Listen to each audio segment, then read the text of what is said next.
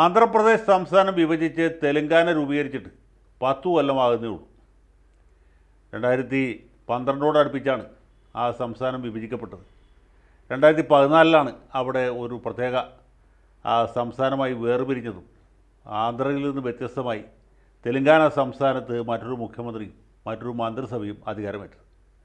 ഈ സംസ്ഥാന രൂപീകരണത്തിന്റെ ചുക്കാൻ പിടിച്ചതും പിന്നീട് തെലങ്കാനയുടെ മുഖ്യമന്ത്രിയായി മാറിയതും ചന്ദ്രശേഖർ റാവുവാണ് അന്ന് മുതൽക്ക് അദ്ദേഹത്തിന്റെ ഭരണം ആ സംസ്ഥാനത്ത് നിലനിൽക്കുകയാണ്.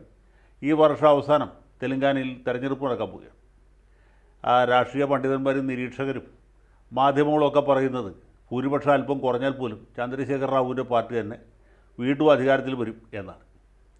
കാരണം ആ സംസ്ഥാനത്തിന് ഉണ്ടായ പുരോഗതിയാണ്. മറ്റെല്ലാ തെന്നിന്ത്യൻ സംസ്ഥാനങ്ങളും പോലെ വലിയ അഴിമതിയുണ്ട്. കെടുകാര്യസ്ഥതയുണ്ട്.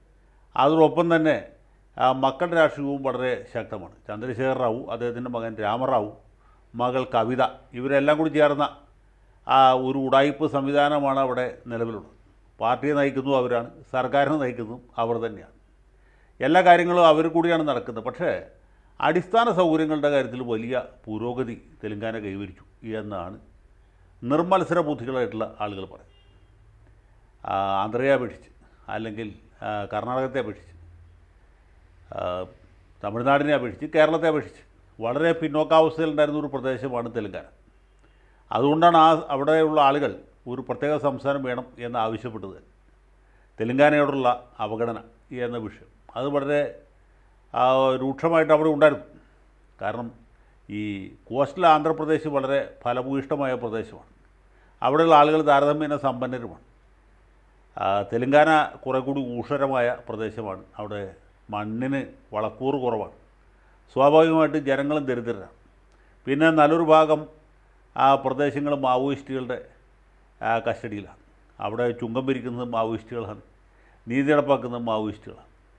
അപ്പോൾ ഇങ്ങനെ പലവിധ പ്രശ്നങ്ങൾ കൊണ്ട് നട്ടം തിരിയുന്ന ഒരു പ്രദേശത്ത് അത് പുതിയ സംസ്ഥാന പദവി നേടുന്നു. അവിടെ ഒരു പ്രാദേശിക പാർട്ടി അധികാരത്തിൽ വരുന്നു. അധികാരത്തിൽ വന്ന മുതൽക്ക് അവർ അധികാരത്തിൽ തുടരുന്നു അവിടെ ഈ കുടുംബനാഥനും അദ്ദേഹത്തിന്റെ കുടുംബത്തിലും മറ്റ് അംഗങ്ങളും ചേർന്ന് ഭരണം നടത്തും. ഇങ്ങനെ ഒരു കൗതുകകരമായ കാഴ്ചയാണ് നമ്മൾ തെലങ്കാനയിൽ കാണുന്നത്. പക്ഷേ തെലങ്കാനയിൽ അടിസ്ഥാന സൗകര്യങ്ങളിൽ വലിയ വികസനം ഉണ്ടായിരിക്കുന്നു. പ്രത്യേകിച്ച് വ്യവസായ രംഗത്ത് വലിയ പുരോഗതി ഉണ്ടായി എന്നാണ് നിരീക്ഷകർ ചൂണ്ടിക്കാണിക്കുന്നത്. അപ്പോൾ അതിനെക്കുറിച്ച് ആലോചിക്കുമ്പോൾ നമ്മുടെ മനസ്സിലേക്ക് ആദ്യം വരുന്നത് കിഴക്കമ്പലത്തുകാരനായ സാബു ജേക്കബിന്റെ മുഖമാണ്. സാബു ജേക്കബിനെ നമുക്കറിയാം. അദ്ദേഹത്തിന്റെ പിതാവ് എം സി ജേക്കബ് തുടങ്ങിയ അന്ന അലൂമിനിയം കിറ്റക്സ് എന്നീ സ്ഥാപനങ്ങൾ അദ്ദേഹത്തിന്റെ രണ്ട് മക്കൾ ബോബിയും സാബു തമ്മിൽ വിഭജിക്കും. സാബു കയറ്റുമതി രംഗത്ത് കേന്ദ്രീകരിച്ചുകൊണ്ട് വസ്ത്ര നിർമ്മാണ രംഗത്ത് വലിയ പുരോഗതി കൈവരിക്കും. അദ്ദേഹത്തിന്റെ സ്ഥാപനം ഒരു പഞ്ചായത്തിന്റെ ഭരണം കൈപ്പിടിയിൽ വെക്കുന്നു ആദ്യം കിഴക്കമ്പലം. പിന്നീട് ട്വന്റി ട്വന്റിയുടെ മേൽവിലാസത്തിൽ അടുത്തുള്ള പഞ്ചായത്തുകൾ വിജയിക്കും. നിയമസഭയിലേക്ക് ഏതാനും സ്ഥാനാർത്ഥികളെ നിർത്തും. കുന്നത്തുകാട് മണ്ഡലത്തിൽ ഇവരുടെ സ്ഥാനാർത്ഥി വളരെയധികം വോട്ടുകൾ പിടിച്ച് ആ മൂന്നാം സ്ഥാനത്ത് എത്തുന്നു. തൽഫലമായി sitting M L A Congress സ്ഥാനാർത്ഥി സജീന്ദ്രൻ തോൽക്കും. സി പി എം സ്ഥാനാർത്ഥി ശ്രീനിജം വിജയിക്കും. ശ്രീനിജം വിജയിച്ചത് തന്നെ എന്തുകൊണ്ടാണ്? ആ സാബു എം ജേക്കബ് അവിടെ ഒരു സ്ഥാനാർത്ഥിയെ നിർത്തിയതുകൊണ്ടാണ് പക്ഷേ തെരഞ്ഞെടുപ്പ് കഴിഞ്ഞ ഉടനെ ശ്രീനിജനും അദ്ദേഹത്തിന്റെ കൂട്ടാളികളും ചില സർക്കാർ ഉദ്യോഗസ്ഥന്മാരും ചേർന്ന് സാബുവിന്റെ കച്ചവടം പൂട്ടിക്കാനായിട്ട് ശ്രമിക്കും. പലതരത്തിലുള്ള റെയ്ഡുകൾ നടക്കുന്നു. ലേബർ ഓഫീസർ ഫാക്ടറി ഇൻസ്പെക്ടർ അതുപോലെ മറ്റ് ഉദ്യോഗസ്ഥന്മാരൊക്കെ ഈ കിറ്റക്സ് സ്ഥാപനത്തിൽ കയറി നിരങ്ങുകയാണ്. അവസാനം സഹി കെട്ട് സാബു ഇനി കേരളത്തിൽ വ്യവസായമില്ല. ഇവിടെ ഉള്ളത് തന്നെ തുടർന്നു കൊണ്ടുപോകാനൊരു താല്പര്യമുള്ളൂ. പുതിയതായിട്ട് മൂലധന നിക്ഷേപം നടത്തുന്നത് മറ്റേതെങ്കിലും സംസ്ഥാനത്തായിരിക്കും എന്ന് പറയും. ഇത് കേട്ടറിഞ്ഞ് ചന്ദ്രശേഖർ റാവു ഇദ്ദേഹത്തെ ഒരു വിമാനം കൊടുത്തയച്ച്. ഹൈദരാബാദിലേക്ക് വിളിപ്പിക്കുന്നു. അദ്ദേഹവുമായിട്ട് ചർച്ച നടത്തും. അദ്ദേഹം ആവശ്യപ്പെട്ടത്ര സ്ഥലം തെലങ്കാനയിൽ വിട്ടുകൊടുക്കും. തെലങ്കാനയിൽ സ്ഥലം ഒരുപാടുണ്ട്. ഭൂമി തരിശായി കിടക്കുന്ന ഒരു പ്രദേശമാണ്. അങ്ങനെ സാബുവിന്റെ പുതിയ ഫാക്ടറി ഈ കഴിഞ്ഞ ദിവസം തറക്കല്ലിട്ടു. അതിന്റെ പ്രവൃത്തി വളരെ പെട്ടെന്ന് നടക്കാൻ പോവുകയാണ്. ഒന്ന് പോയിന്റ് രണ്ട് കിലോമീറ്റർ നീളമുള്ള ഒരു വ്യവസായ സംരംഭമാണ് അവിടെ ആരംഭിക്കാൻ പോകുന്നത്. അതിന്റെ പണി പൂർത്തീകരിക്കുമ്പോൾ ലോകത്തെ ഏറ്റവും നീളം കൂടിയ ആ വ്യവസായശാലയായിരിക്കും ഇപ്പോൾ നിലവിലുള്ളതിൽ ഏറ്റവും നീളം കൂടിയത് എന്ന് പറയുന്നത് അമേരിക്കയിലെ ടെക്സാസിൽ ടെസ്ല കാർ കമ്പനിയുടെ ആ വ്യവസായ യൂണിറ്റാണ്.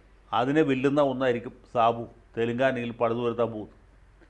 ആയിരം കോടി രൂപയുടെ മൂലധന നിക്ഷേപം നടത്താനാണ് നമ്മൾ ഉദ്ദേശിക്കുന്നത് പക്ഷേ തെലുങ്കാന സംസ്ഥാന സർക്കാരിന്റെ ഭാഗത്തുനിന്നുള്ള വലിയ പ്രോത്സാഹനത്തിന്റെ ഫലമായിട്ട് സാബു പറയുന്നത് നാലായിരം കോടി അവിടെ മുടക്കാൻ പോകുന്നു എന്നാണ്. ഏതായാലും സാബുവിന് വൈകിയ വേളയിൽ ബുദ്ധി ചോദിച്ചത് നന്നായി. കേരളത്തിൽ നാൽപ്പത് രൂപയെങ്കിലും മുടക്കിയിരുന്നെങ്കിൽ അത് നഷ്ടത്തിൽ ചെന്ന് കലാശിച്ച്. കാരണം എന്താ വെച്ചാൽ കാരണഭൂതന്റെയാണ് ഭരണം. പിന്നെ സൈദ്ധാന്തികനും ആ തത്വചിന്തകനും ആ വർഗശാസ്ത്ര വിശകലന വിദഗ്ധനുമായിട്ടുള്ള സഖാവ് പി രാജീവാണ് ഇവിടുത്തെ വ്യവസായ മന്ത്രി. പിന്നെ കുന്നത്തുനാട് എം എൽ എ ആണെങ്കിൽ നമുക്ക് എല്ലാവർക്കും അറിയാവുന്ന പി വി ശ്രീനിജനാണ്. പോരാത്തിന് ഫാക്ടറി ഇൻസ്പെക്ടറുണ്ട് ലേബർ ഓഫീസറുണ്ട് പോലീസുണ്ട് മറ്റ് സകല ഗുലാബികളുമുണ്ട്. തെലുങ്കാനയിൽ യാതൊരു ബുദ്ധിമുട്ടുമില്ല. ഇദ്ദേഹം പറയുന്ന രീതിയിൽ വ്യവസായവൽക്കരണം നടത്താൻ പറ്റും. ആ, തൊഴിൽ കൊടുക്കുമ്പോൾ തെലുങ്കാനക്കാർക്ക് കൊടുക്കണം എന്ന് മാത്രമേ ഉള്ളൂ. ഇവിടെയുള്ള ആളുകൾക്ക് അല്ലെങ്കിൽ ഈ ജോലി ചെയ്ത് ജീവിക്കാനൊന്നും താല്പര്യമില്ല നമ്മൾ. കിഴക്കമ്പലത്താണെങ്കിലും പെരുമ്പാവൂരാണെങ്കിലും ഒക്കെ ആളെ ജോലിക്ക് വെക്കുന്നത് ബംഗാളികളെ ഒറിയക്കാരെ അല്ലെങ്കിൽ ജാർഖണ്ഡിൽ നിന്ന് വരുന്ന ആദിവാസികളെയുമാണ്. അപ്പോൾ ഏത് നിലയ്ക്ക് നോക്കിയാലും കേരളത്തിൽ വ്യവസായം തുടങ്ങാഞ്ഞത് നന്നായി. ശ്രീനിജനെ കൊണ്ടാണെങ്കിലും ചില ഉപകാരങ്ങളുണ്ടാവും. എന്ന് വിചാരിച്ചാൽ മതി. അതിൽ പ്രത്യേകിച്ച് ഒരു കാലുഷ്യമോ കന്മഷമോ വെച്ച് പുലർത്തേണ്ടതില്ല. ആ സാബു എം ജേക്കബു അദ്ദേഹത്തിന്റെ വ്യവസായശാലയുടെ ചുക്കാൻ പിടിക്കുന്ന ആളുകളുമൊക്കെ രാജീവിനോടും ശ്രീനിജനോടും കാരണഭൂതനോടും ഒക്കെ കടപ്പെട്ടവരായിരിക്കും എന്നാണ് എന്റെ വിശ്വാസം. ഇപ്പം അവർക്ക് എന്തെങ്കിലും ചെറിയ ആ ഒരു ഈർഷ്യ തോന്നുന്നുണ്ടെങ്കിൽ തന്നെ കാലാന്തരത്തിൽ അതൊക്കെ മാറും. ഒരു പക്ഷേ ആ തെലങ്കാനയിലെ ഈ വ്യവസായശാലയുടെ മുമ്പിൽ ആ പിണറായി വിജയന്റെയോ അതുപോലെ രാജീവിന്റെയും ശ്രീനിജന്റെയൊക്കെ ചിത്രങ്ങൾ അവിടെ ഈ മെഡിക്കൽ ട്രസ്റ്റ് ആശുപത്രിയിൽ എം കെ കെ നായരും മറ്റും പടം വെച്ചേക്കണ പോലെ. അതിന്റെ അകത്ത് വയ്ക്കും അവിടെ പൂമാല ചാർത്തും എന്നാണ് ഞാൻ വിചാരിക്കുന്നത്. ഏതായാലും വിപ്ലവം വിജയിക്കട്ടെ. പണ്ട് കമ്മ്യൂണിസ്റ്റുകാർ വളരെ പ്രബലമായിരുന്നൊരു പ്രദേശമാണ് തെലങ്കാന. പിന്നെ നേതാക്കന്മാരുടെ കയ്യിലിരിപ്പിന്റെ കുഴപ്പം കൊണ്ടും പ്രാദേശിക പാർട്ടികൾ ശക്തമായതുകൊണ്ടും തെലങ്കാന മേഖലയിൽ അത് കമ്മത്താണെങ്കിലും വാറങ്കലാണെങ്കിലും ഒക്കെ വ്യവസ്ഥാപിത കമ്മ്യൂണിസ്റ്റ് പാർട്ടികൾ കുറ്റിയേറ്റ് പോയി എന്നുള്ളതാണ് ചരിത്രം ഏതായാലും കേരളത്തെ സംബന്ധിച്ചിടത്തോളം അങ്ങനൊരു അവസ്ഥാന്തരം ഇതുവരെ ഉണ്ടായിട്ടില്ല. അതുകൊണ്ട് തന്നെ വ്യവസായികൾക്ക് പോകാൻ പറ്റിയ സ്ഥലം തെലങ്കാനയാണ്. അല്ലെങ്കിൽ മറ്റേതെങ്കിലും സംസ്ഥാനമാണ്. കേരളത്തിൽ തന്നെ വ്യവസായം തുടങ്ങണം എന്ന് ഭരണഘടനയിൽ എഴുതി വച്ചിട്ടില്ല ഒരു നിയമത്തിൽ എഴുതി വച്ചിട്ടില്ല സാബുവിന്. മംഗളം നേരുന്നു. അതോടൊപ്പം തന്നെ ബന്ധപ്പെട്ട ഉദ്യോഗസ്ഥന്മാർക്കും വ്യവസായ മന്ത്രി രാജീവിനും വിജയാശംസകൾ ഒരിക്കൽ കൂടി അറിയിക്കുന്നു. ഇതുപോലെ ഏതെങ്കിലും വ്യവസായി ഇവിടെ വരികയാണെങ്കിൽ അവർ നമ്മൾ തെലങ്കാനയിലേക്കോ ആന്ധ്രയിലേക്കോ അല്ലെങ്കിൽ ഛത്തീസ്ഗഡിലേക്കോ ഒറീസയിലേക്കോ അയക്കണം. എന്ന് മാത്രം ഒരിക്കൽ കൂടി ഓർമ്മിപ്പിക്കുന്നു. വിപ്ലവം ജയിക്കട്ടെ. ഇൻഗുലാബ് സിദ്ധാബാദ്